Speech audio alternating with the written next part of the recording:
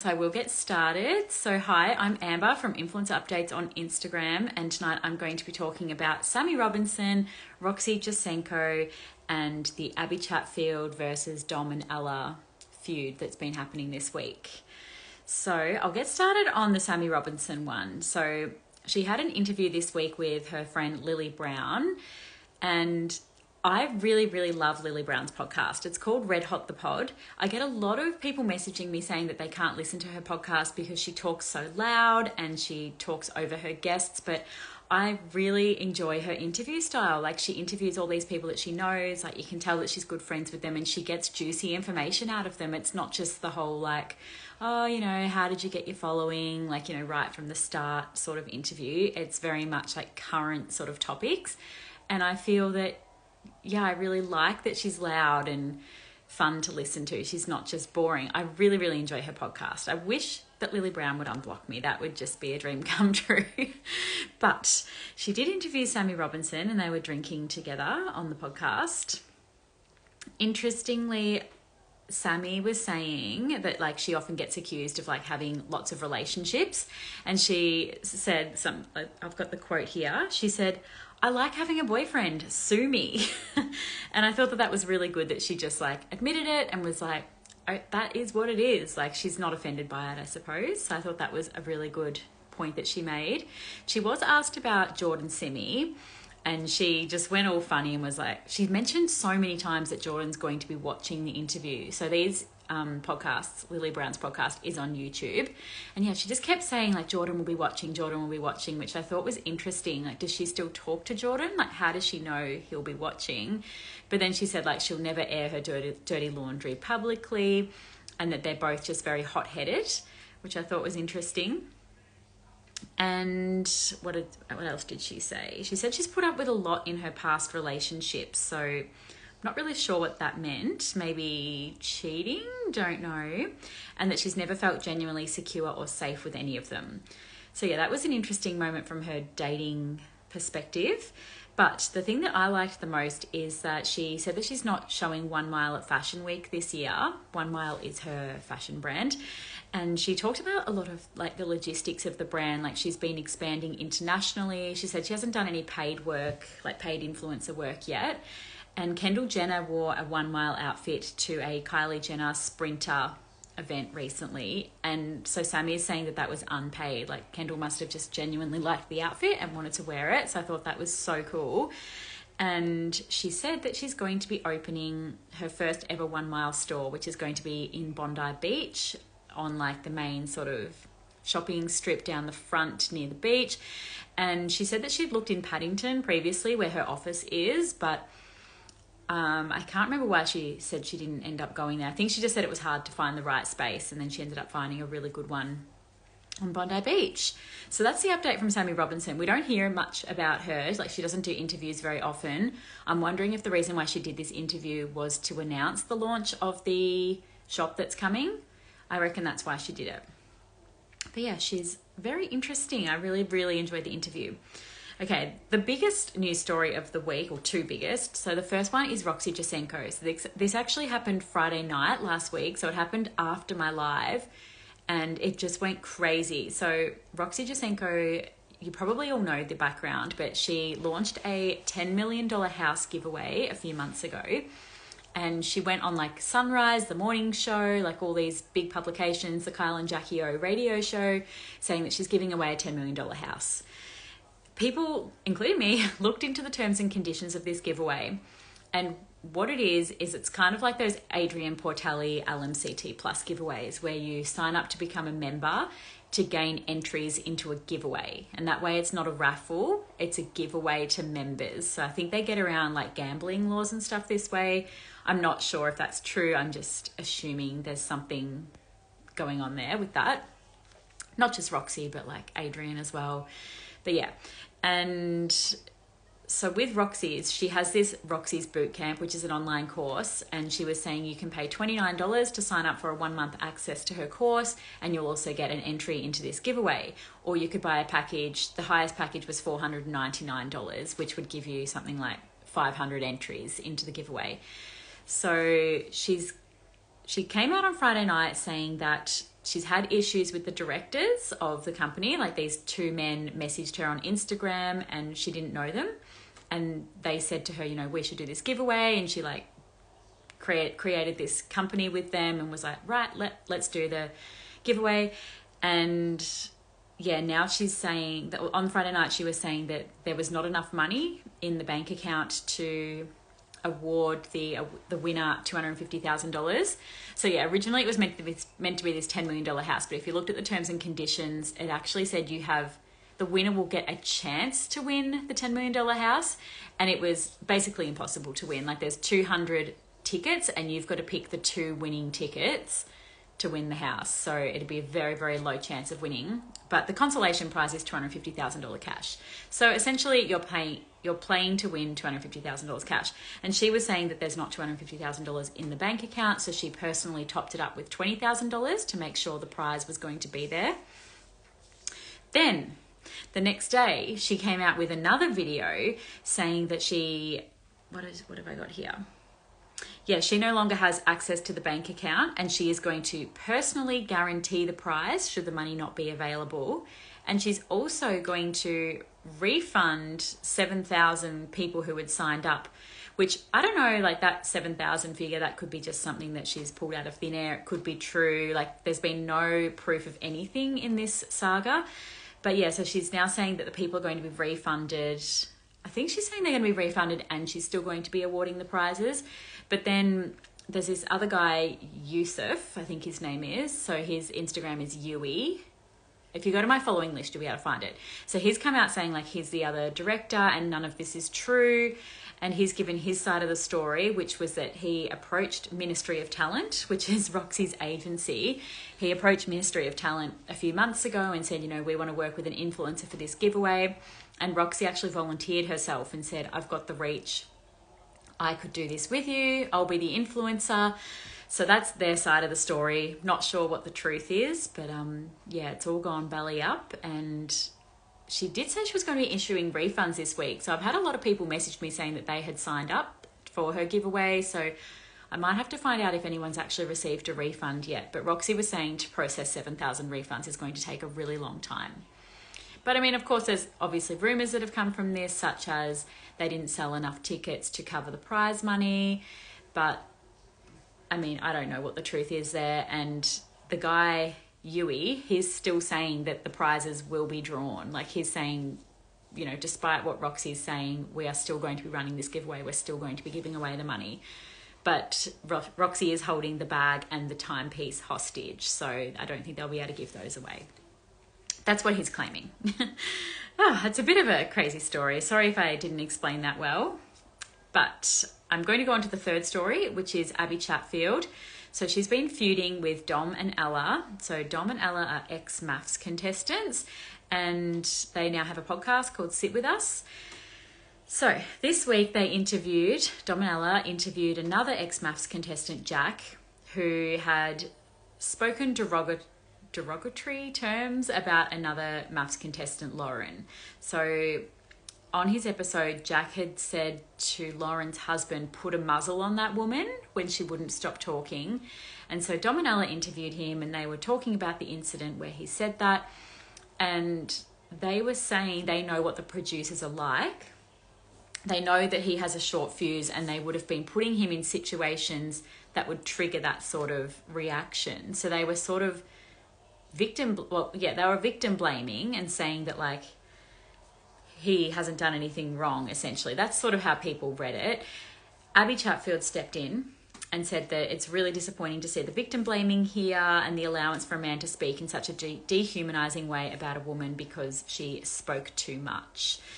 And she went on to say like isn't that what Dom got told in her episode and she was really offended by it? Because Olivia had said that to her, you know, that she's boring and she talks too much. But um yeah, Abbie went on to say that she feels sick about the way that they'd given Jack a platform and they had forgiven his behavior essentially. They weren't calling him out on it.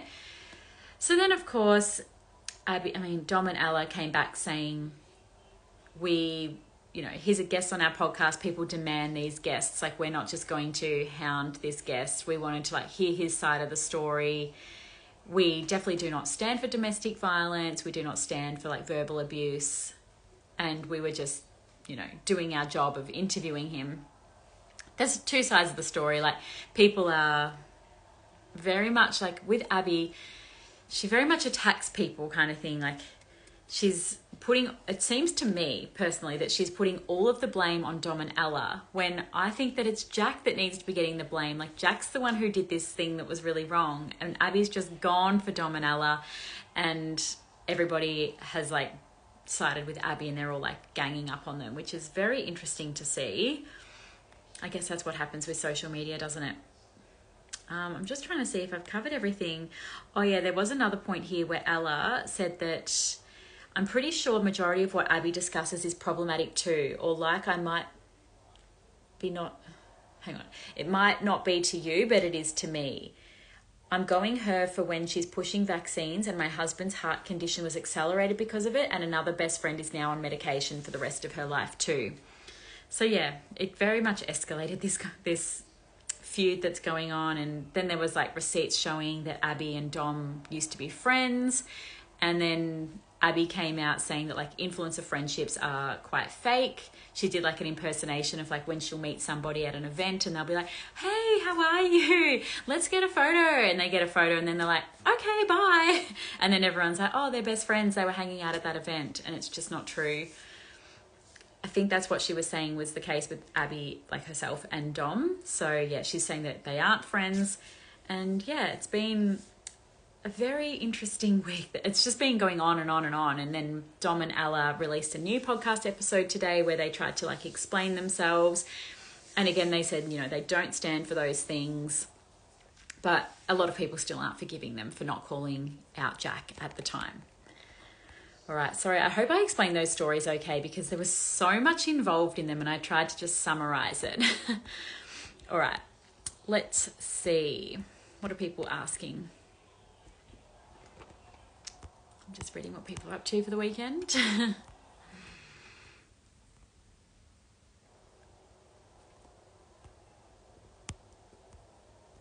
Let's see.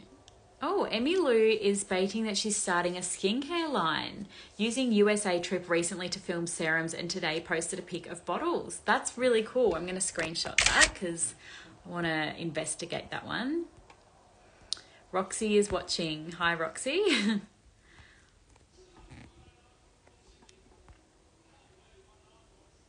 what's this person saying? I noticed there were girls doing photo shoots in the house who were known party girls, not likely friends of Roxy.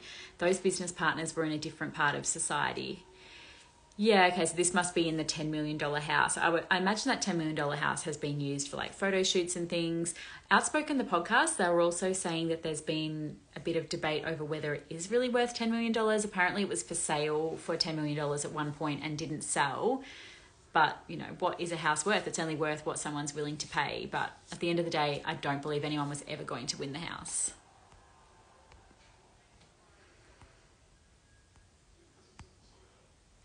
Oh, cute. Roxy's saying, Yes, I'm watching and I do every week. I accidentally called Roxy the other day. It was so funny. Um, yeah, we were sending a few DMs and I accidentally called her and I was like mortified. I don't know why. I just I just got embarrassed by that.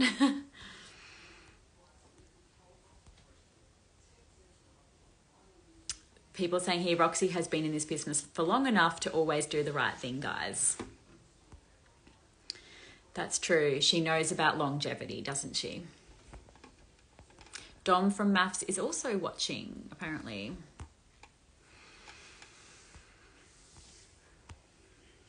I really do try not to take sides when I do these things. I know that annoys a lot of people, but I really try to like explain both sides of the story. Like you can see I did that with the Dominella story as well as the Roxy story. Because yeah, I'm not here trying to persuade you what side to take of a story. I'm just trying to like tell you everything that's happened. Abbie is dangerous when she has it in for someone. Yeah, I am scared of Abbie Chatfield to be honest. Like she gets so worked up about things. Tonight she was on her stories being worked up about America, just American culture and I agreed with a lot of the points she made, but yeah, it's just interesting the way she speaks about things.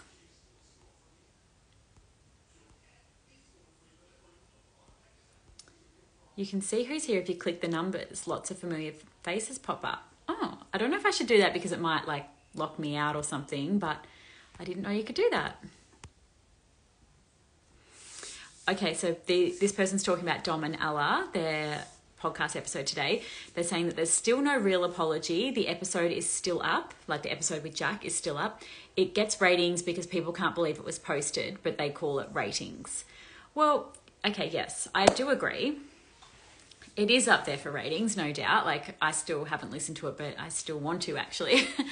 but also, I think this stuff is educational. Like I think it really has shed such a light on not standing for this sort of behavior from men. I think that, you know, like if everybody always spoke the right thing and never called people, well, never call people out or never, like, I mean, Abbie's calling the girls out we would never learn if that makes sense. like it's unfortunate for Dom and Ella that they're the one having to cop all of this, but you know, a lot of people are learning from this situation, me included.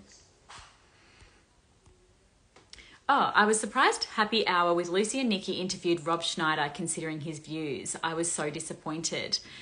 Yeah, I didn't realize this. So this week, Lucy and Nikki did an interview with Rob Schneider, who is from heaps of movies like Deuce Bigalow, Male Gigolo, that's probably his most famous, or The Hot Chick. And he didn't mention his views on the podcast, but I've since been told that he is anti vax, I believe it is. Or maybe he's like pro Trump or something. Like he's got, you know, extreme political views. And I didn't realize, but he did mention in the interview something about Johnny Depp's dog not being vaccinated or something. So maybe that was sort of like to do with that. Not sure, but you know, this is what I'm talking about. How I said before about learning from things like Lucy and Nikki, they weren't interviewing him about his political views. They were interviewing him about his history of movies and like the, how they've grown up with his movies and he's going to be in Australia for a comedy show and things like I don't know, I feel like there's such a cancel culture and should Rob Schneider be cancelled because of his views on one topic? Some people say yes, some people say no, I'm not sure, but I really enjoyed the interview. It was an interview I did not know I needed, but it really did bring back so much nostalgic memories. I also know that Hot Chick movie line for line. I was actually watching it a few weeks ago with my mum and my mum was like, this movie is so, so bad. Like it's, she didn't find it funny at all. But yeah, I can see why people would be disappointed that they would interview somebody with such strong political views. I also found it really interesting that he mentioned he has three daughters, and I found out afterwards that one of them is the singer Elle King, and she sings that X's and O's song. Oh, I won't sing it, but if you want to know, Google her, like you'll definitely know the song. Okay, this person's saying that Dom did apologize for the Jack interview. Ella didn't, though. She called it silly and ridiculous. This is a good point. That Abbie is calling them out because they have a platform and they did something that was damaging. If it was anyone else that did the same thing, she would call it out. Yeah, it doesn't. Yeah, that's true. That is true. SCL, SCL, I'm not sure who that is, post about Gaza receiving backlash and having to delete and post an apology. Missed initial post. Oh, I'm not sure what SCL is, unless that was about Steph Claire Smith. I know she posted one about Gaza. I've noticed a lot of influencers are posting about Gaza in the last few days since the Blockout 2024 thing has started. I hadn't heard of Blockout 2024 until my Friday Night Live last week when someone mentioned it in the comments. But yeah, it's like this movement where people are blocking influencers or celebrities that they believe haven't posted at all about the Gaza war or haven't posted enough. And yeah, apparently Kim Kardashian has lost 3 million followers, but I'm not sure if that would all be attributed to this blockout 2024, but Instagram has been deleting accounts that are popping up promoting it. So it seems that Instagram don't want this to be a thing. I suppose Instagram don't want their biggest creators' accounts to be blocked. Maybe that's why. But yes, I've noticed um, like Steph Claire Smith and Olivia Molly Rogers, they've both posted in the last few days about their situation in Gaza. What is the surgery that Ashy Bines is having? So she mentioned a few days ago that she went in for like a, some sort of scan on her brain aneurysms that were found recently when she was in hospital for stress. And they've looked at her aneurysms and they've said to her that she's going to need to have surgery on them in the next six months. And she's obviously terrified about that surgery. And I would say that is the surgery she's having.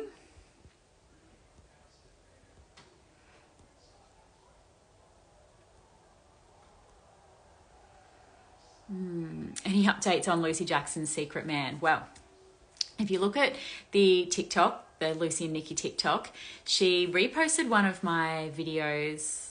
Oh, video, no, photos, one of my photos from subscription. She reposted it and she's like talking about it and she's saying, you know, influencer updates is saying this is who I'm dating and I'm not going to confirm or deny, but this person has too much time on her hands or something like that. I don't know. She was just being funny. I get that she's laughing at me and, you know, whatever. I don't care. I'm not offended.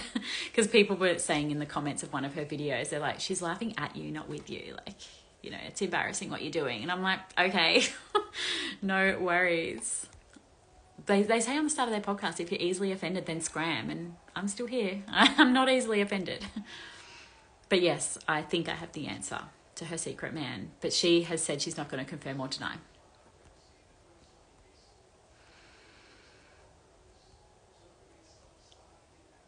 I really like Lily Brown, but I struggle listening to her podcast because she always cuts off people when they are talking. It's so annoying.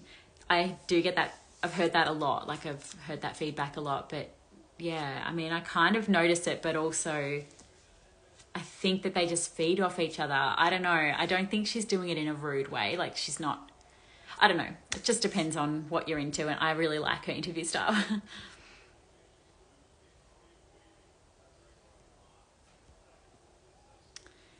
Abbie is very intelligent and a great debater. That's why most people are scared of Abbie. yeah, that's probably true. And she calls people out on their shortfalls, let's say that. I'm sure she'd have plenty to call me out on, and that's probably why I'm scared of her. I do think that, like I was saying earlier, I do think she's very educational. Like, she actually educates me on a lot of topics. And I mean, I probably shouldn't be going to Abbie Chatfield to get my information on life's issues, but I do. And I think that she is interesting. Whether I agree or disagree with her points, I think that she still sparks a lot of interesting conversations.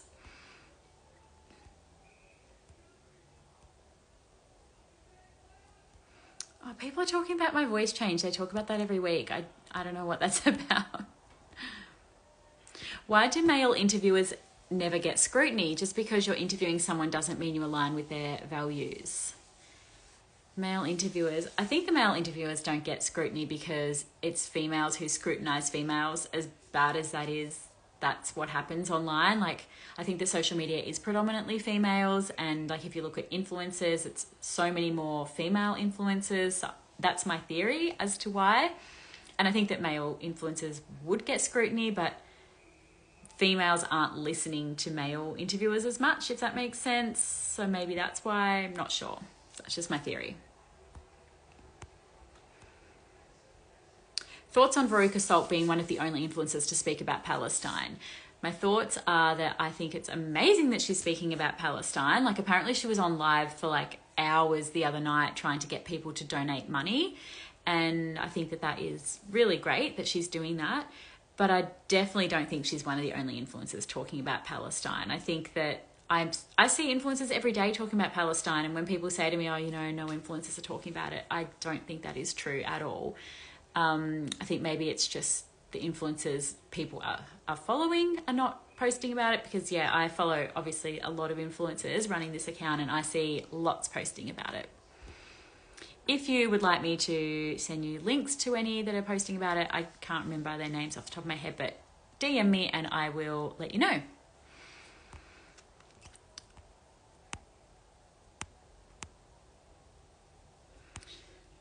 Are you wearing foundation? Yes, I am wearing the Tribe Skincare Mineral Powder. That is what I wear every day, and I am obsessed with it. My sister used to own the brand, so I probably got it discounted or free of some sort, but I do buy it still. just a disclaimer there. Like, I don't want people thinking it's an undisclosed sponsorship because it's not. I just love it. Mia Freedman has a lot of lost a lot of listeners from her podcast for not talking about Palestine. I definitely think that's true. If you look at the Mamamia Facebook group, there's a lot of people expressing their anger about Mamamia's lack of conversation around it. Tammy Hembrow is losing thousands of followers a day, apparently. I don't know if that's necessarily because of blockout. I think it's probably a lot of reasons. Especially like her relationship. A lot of people are, like, if you look at the comments on her posts and stuff, that is a very big topic for her at the moment.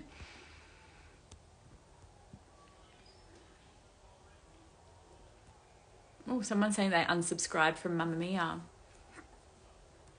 and that Lucy Jackson is funny though, and I shouldn't be offended. I totally agree. I think that Lucy Jackson is hilarious. I love her. And just because I love an influencer doesn't mean I agree with everything they say and do. I always cop so much for that. Like people are like, "Oh, you love Ashy Bines," and I'm like, "Yeah, so." doesn't mean I want to be her best friend or I agree with everything she says and does. Like I find her a very interesting influencer.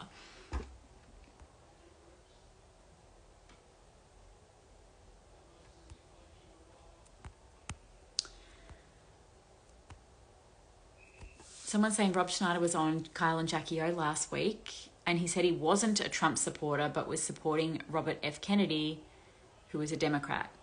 Okay, I'm not sure what that means. I probably should know, but I'm not big on American politics. Any updates on Adele's man? I don't have any updates. So there was a theory going around that they had broken up and maybe got back together, but she hasn't released anything. So we still don't even like she still hasn't even shown his face on her socials so not sure what the verdict is there Yes, someone here saying that they don't feel like Lily Brown cuts her guests off. She forms a genuine connection with them, or she is already good friends with them. And it's like listening to two excited besties having a chat. Yes, that is exactly, I couldn't put it into words. That is exactly how I feel. It's like listening to two besties have a chat. And that's how me and my besties talk. Like we all just we don't cut each other off. We just like come back to conversations. like we might have two or three conversations going at the one time and it's all just circling around and I think that's what she do does with her guests.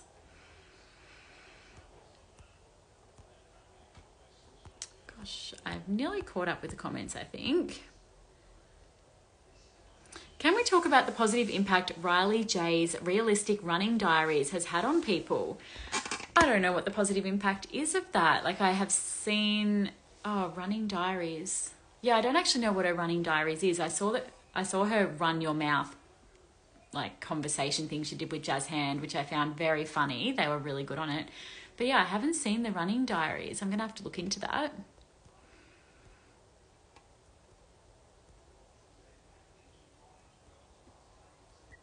Uh, yeah, does your sister not own Tribe anymore? She does not. She sold it back in August last year because she was having her baby, who she had in December.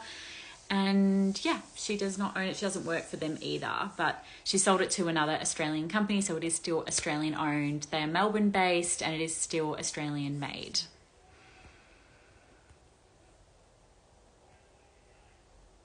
Who is the most family friendly influencers you recommend for families? Oh, I don't know off the top of my head. It depends. Like, do you mean for children to follow? Because I probably don't think that children should be following any influencers, to be honest. Shani Grimmond, who even follows her anymore.